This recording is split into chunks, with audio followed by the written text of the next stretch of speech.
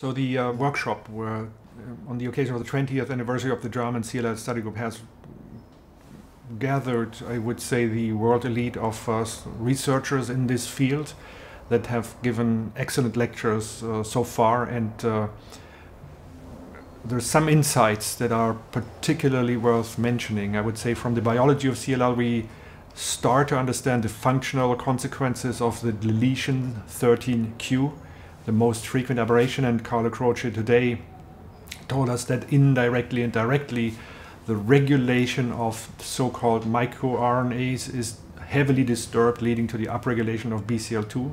We should be reminded that BCL2 is the target of, of the most potent drug uh, that we currently have available, venetoclax, targeting BCL2, and also uh, regulate or change the expression of ROR1, a receptor that is frequently expressed in uh, CLL. And so there's a functional correlation between BCL2 and ROR1 uh, that are both regulated by the same microRNA. So we see some pattern emerging where targeting ROR1 plus BCL2 might actually be synergistic and eradicate CLL in these patients. So that's an interesting biological finding. I think in terms of therapy, um, we've seen first results uh, coming out of uh, the trials of the German CLL study groups that are very encouraging.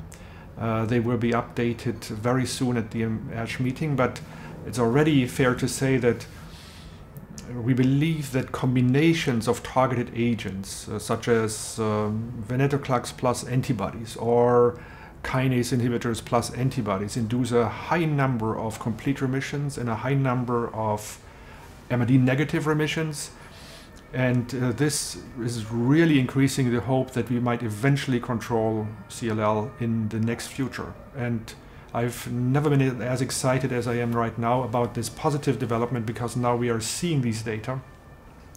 We should remain careful, not because of uh, embargoes of meetings, but careful because of, of the time that these data need to mature. So overstating positive results is one of the weaknesses of physicians usually, and I try to be conservative, but I'm still very, very excited. Now, just imagine that a great number of patients could achieve an MRD negative remission, so no minimal residual disease detectable by our current standards. And that would probably translate into long lasting remissions for the majority of the patients. And that's a beautiful uh, future that I'm now seeing in our data. And that's what uh, is, I think, the major message I have uh, extracted from the meeting.